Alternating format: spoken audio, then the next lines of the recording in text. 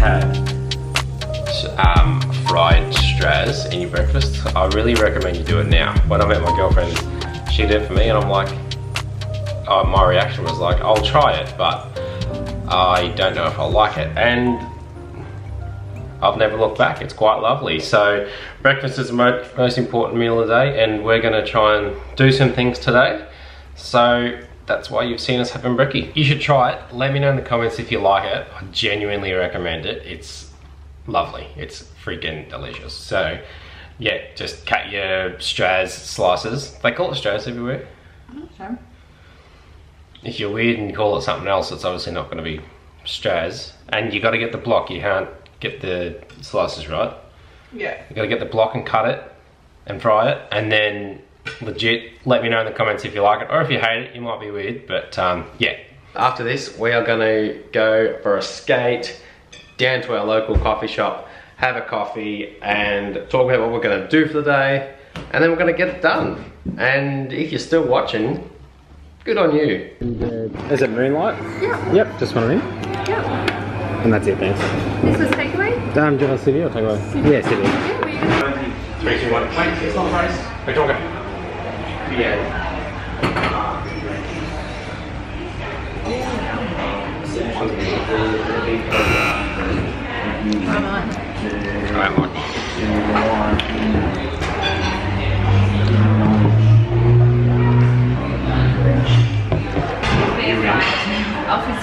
Zero can calculate... Oh, Mine's a bit too coconutty, but one Stockfish. nice and close to walk into. And there's like a cool door up there that they've used as a shelf. Race against the Formula One race car. But it, We're planning what we're doing for the day. we have to paint our screen. Oh, can I interrupt? Yes. I've got my car with me.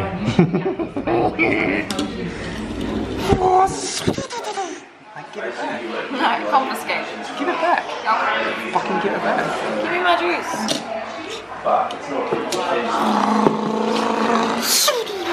Sorry, what were you saying? Yeah, after you rudely interrupted eh? me.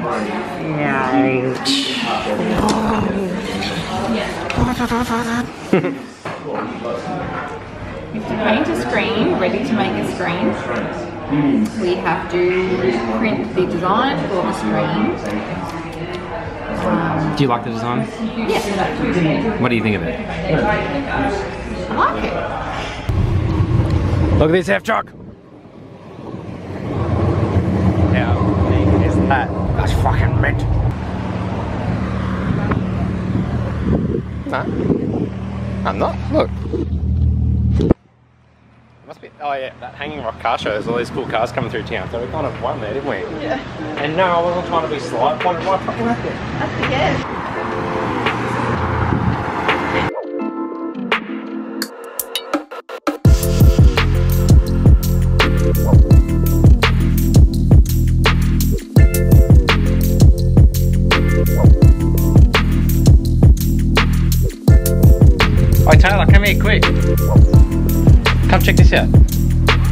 Come here quick.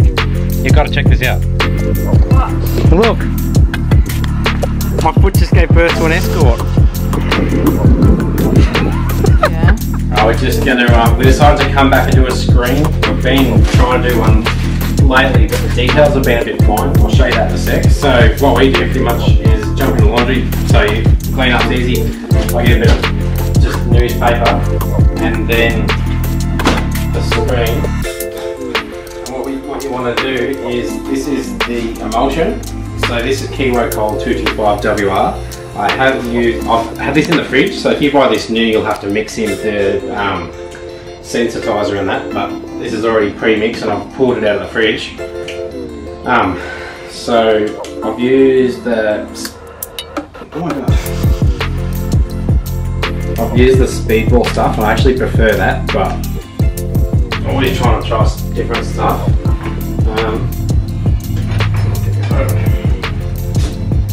That is well stuck on there. Oh my god.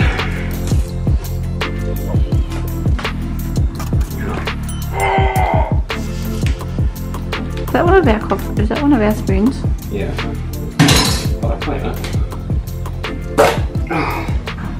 I'm a minimalist, I can't buy another spoon. You have your own spoon. No. Yes, you do. There's one of them in the printing box. Well, you put it somewhere. It's in the printing box.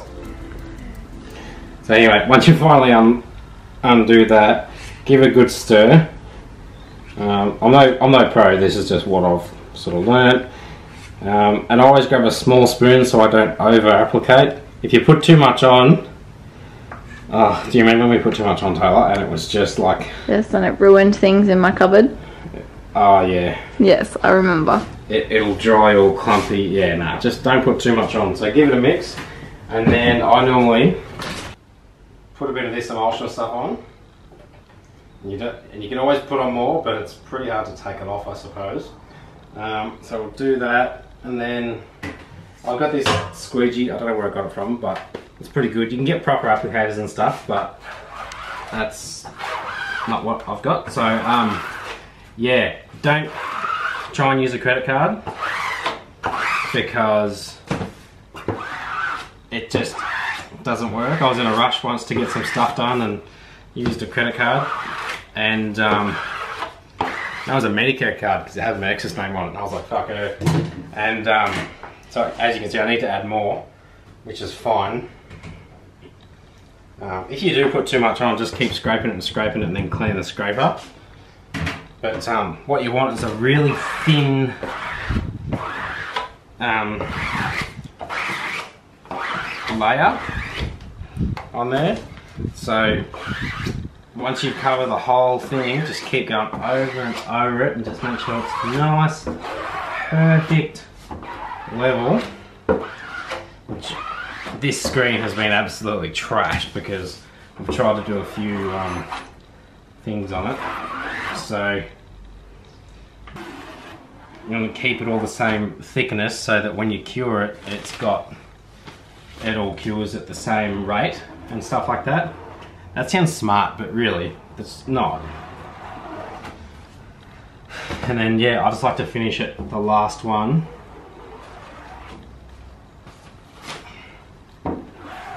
On the face. And then, that's pretty much it. Could probably take a little bit more of that if you wanted to.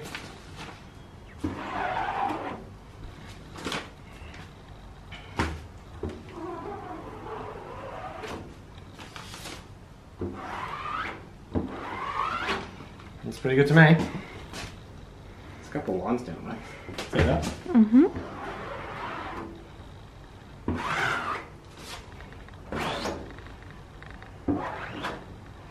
Yeah.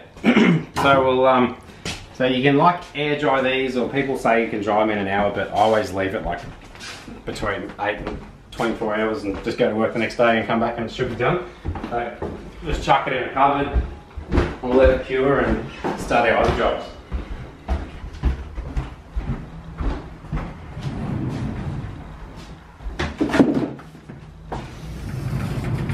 And then one other thing I recommend is, um, yeah, one other thing I recommend, which Taylor, I don't know if you showed me or not, but to wipe it all down with newspaper first. Just makes, you can just throw the paper and you don't have a heap of um, cloth to like clean up and stuff. Still got to clean it, but not as goopy. And then you gave your spoon back, Taylor. You can use your printing spoon next time. Yeah.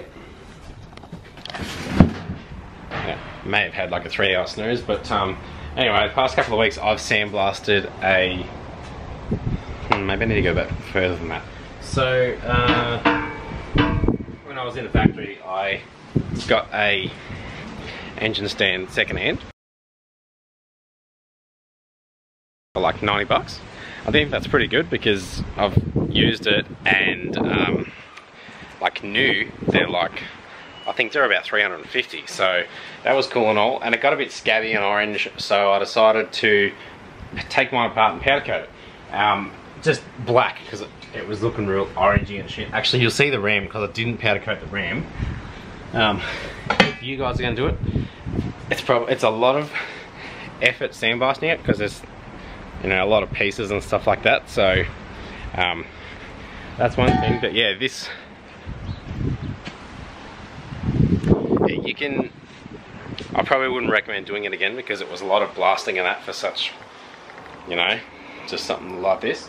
So um, yeah, but all these have been in the back of my car all week, and every time I turn a corner, it's been like St John's Cathedral. Dong!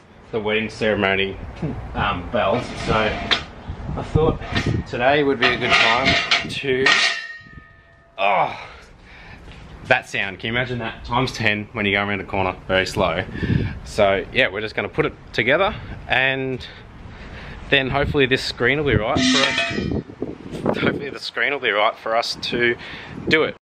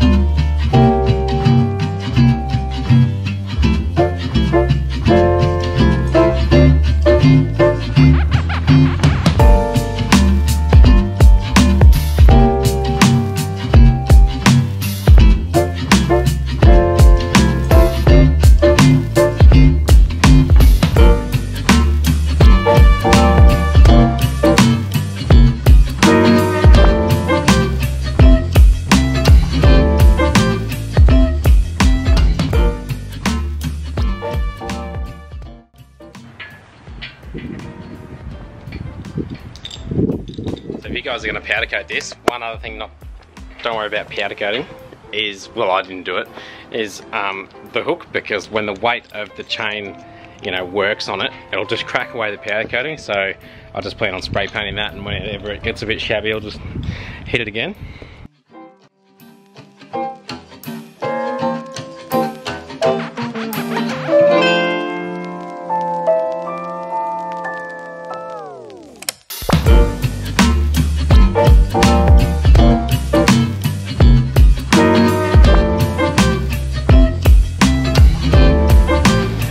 That's um, that's done now. It looks so much better than it used to. to all this chalky orange colour.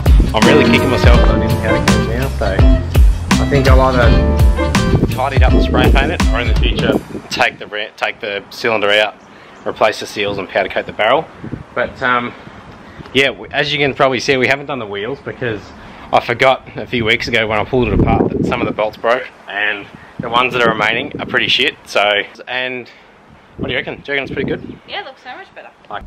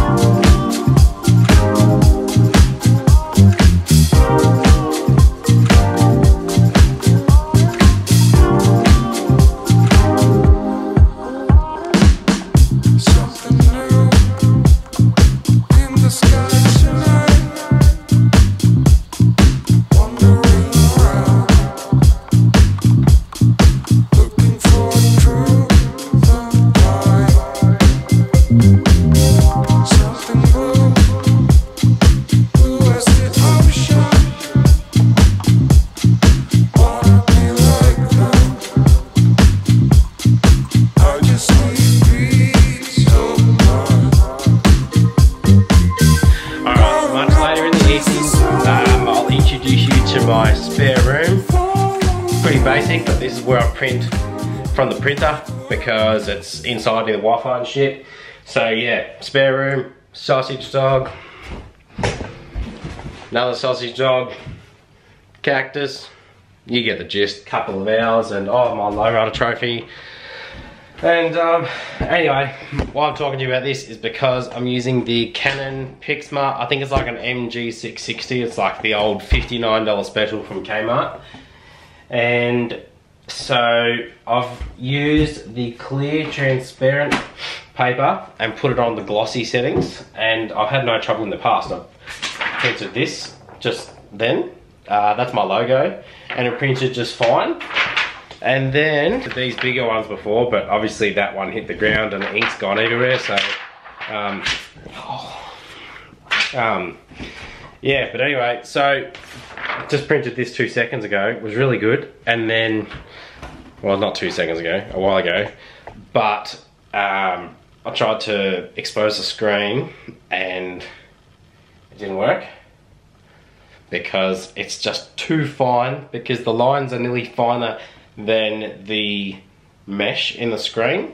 So if you guys are doing this at home, just be wary. You can print on these printers. Actually, I'm just a novice, so you can probably do a whole heap of shit. But anyway, I've found out you can print on these printers, but sometimes it doesn't work. And to trick it, if it doesn't work, is I print, select two copies and put a paper one first, followed by a clear one, and that seems to trick it. But anyway, so I just printed these literally two seconds ago, and to make it thicker so that you could, uh, we could expose it. Gone real blotchy and shit. And it never really dried. See that? So um, I suppose, so that's a bit of a fail, but I'll endeavor to make it better and do another YouTube video when I actually figure out what the go is. So if you guys want to print shirts, I would just recommend going to Officeworks and getting them to print on the transparency and uh, yeah, it'll be much better unless you fork out and get a fully sick printer. But if it's the middle of the night, you need to get a, get a printer at Kmart like I did, you can do it. So anyway, because this one worked, yeah, because this one worked, we'll go uh, screen print two shirts and finish off this vlog here. There, we'll finish it there. Get out! There's no time sticking around. Alrighty, so this is the screen I was telling you about. This is the one we exposed that earlier.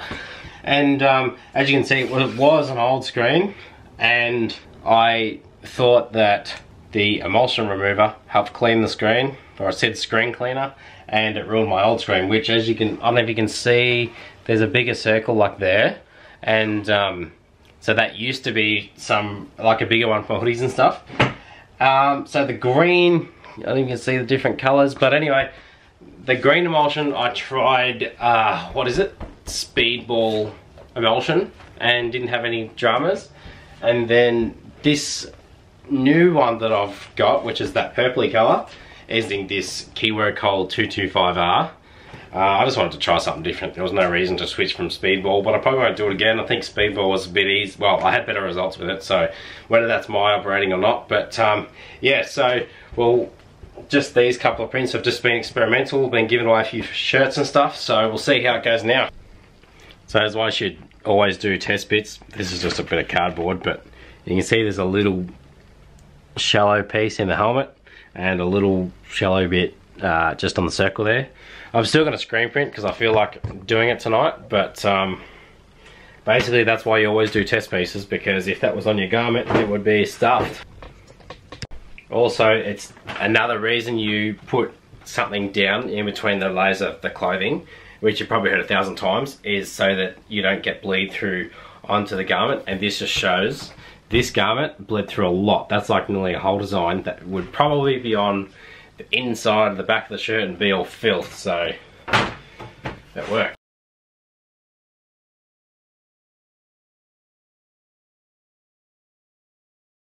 Yeah, so I just do my own shirts for like Instagram giveaways and stuff. All the stuff that I sell, I actually get a proper shop in Fitzroy to do it. But uh, yeah, if you want you want to get into this kind of stuff, it's easy guys. it's just heaps of fun. Like even though I knew there was going to be a bit blotchy, I still just wanted to do it. And um, yeah, so just do it. And anyway, I went to Spotlight the other day, got a skate deck. So I just want to show you guys maybe how to or how to not screen print a skate deck. I'm just going to use this same screen and see if it goes on. If it does, that's good. And if it doesn't, we'll do something else next week.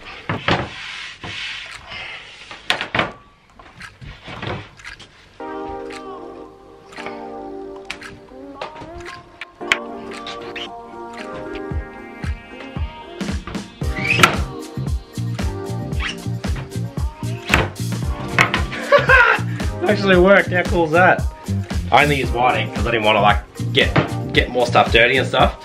But um, yeah, so back in the day, skateboards were screen printed and the actual screens were shaped like the deck. So it would have taken a bit of talent to like screed it because uh, actually even when I did this, I noticed that the kick, or probably because I didn't have a bench, but the kick of it flicked the skateboard up a little bit. But um, yeah, so nowadays it's mostly the, the, the ink is printed on a clear film and then that's heat pressed onto the skate deck. So it's like um, like your iron on vinyl except iron on print. But um, back in the OG days they did actually screen print decks. So yeah, I want to try and I want to try and um, maybe have some fun with this in the future. But that's my vlog wrapped up. Thanks for watching. I appreciate the views. Uh, if you liked it, subscribe, whatever. Uh, or if you got any questions or insults or whatever, just hit me up in the in the messages below. And um, yeah, click the bell for my weekly upload notifications and we'll see you guys around.